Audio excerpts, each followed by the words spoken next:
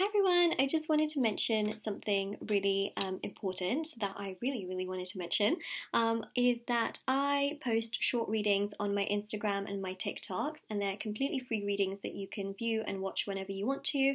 Um, they are under a minute long, so they're quite nice, like short little readings if you wanted to keep up with my um, readings. So, yeah, I post on Instagram. So it's moonlight.guidance on Instagram, as you can see right here.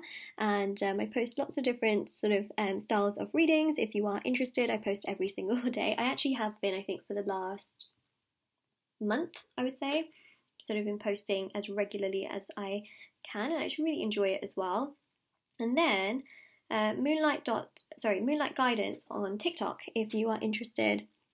I also post readings on here as well. So that is literally what we do have there. So it's moonlight.guidance on Instagram and then moonlight guidance on TikTok if you wanted to follow me there. I just thought I would give it a little mention because actually I feel like so many people don't know. Um, but yeah, if you want to follow me on there, feel free, say hi. I'll probably say hi back to you. I do get a lot of comments on so I can't always reply, but it would be just really wonderful if you wanted to follow me on either of those platforms. I know that TikTok is banned in some countries, but that's why I also post, post them on Instagram as well.